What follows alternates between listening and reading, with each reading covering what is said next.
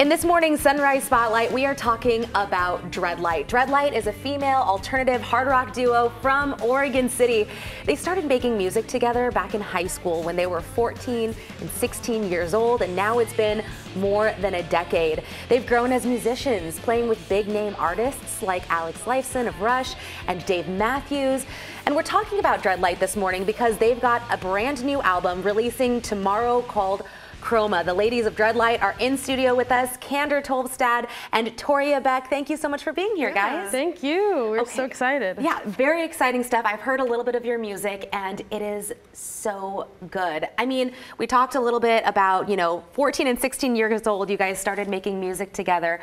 I mean, you've, you know, gone through so many years and you've, you know, played with various artists, big names like Dave Matthews. How does that feel?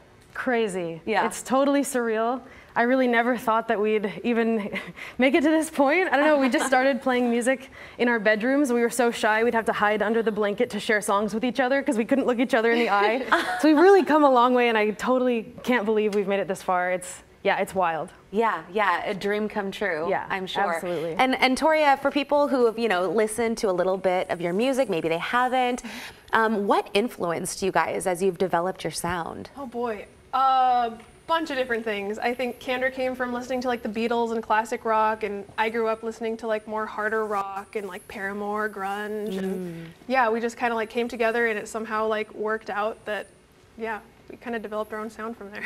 that is so cool. Okay, and I know we talked about this new um, album coming out. There's going to be a release party that's going to be tomorrow. For people who are interested in going, can you tell them a little bit about it? Yeah, so tomorrow at the Holocene, April 10th, uh, from 7 to 11, we have an album release show, and this is unlike any show we've ever done. Hmm. Uh, we usually do a very traditional show with just a few bands and then everybody packs up and goes home, but we want this to be more like a party, so we're bringing our friend Maya Win to come share the stage with us, and we've got Guitar Hero, there's a bar, there's a taco bar, we've got raffles, we're doing a red carpet photo op. It's a whole thing. We've been planning it for months. it's our baby, so we're so excited and we want everyone to show up. Okay, and how much are we talking here? Uh, $10 in advance, $14 at the door. Again, all the information up on your screen at Holocene in Southeast Portland. Again, 7 p.m. is when it starts. Yes. Okay.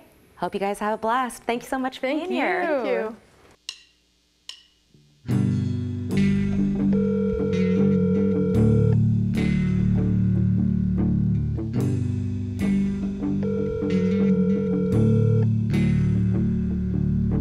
Hey, I was wondering, are you free tonight?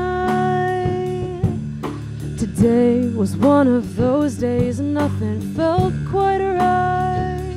But no pressure if you'd rather never cross that line. I just wanna see you. I mean, I just wanna be seen by you. So, how's it been? How's been sleeping on your own? Does it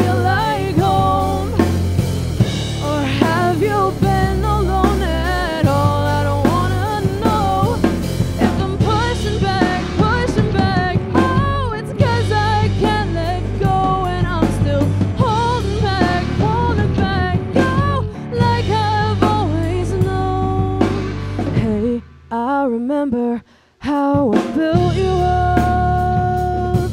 Now you search for something better, will never be enough.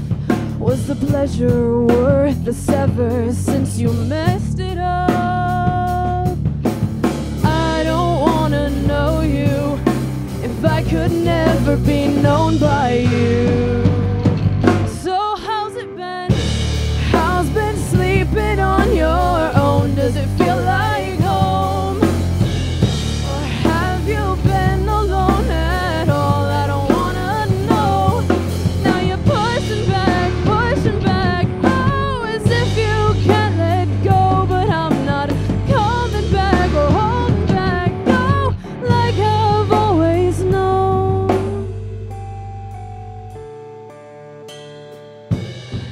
should know that I've moved on.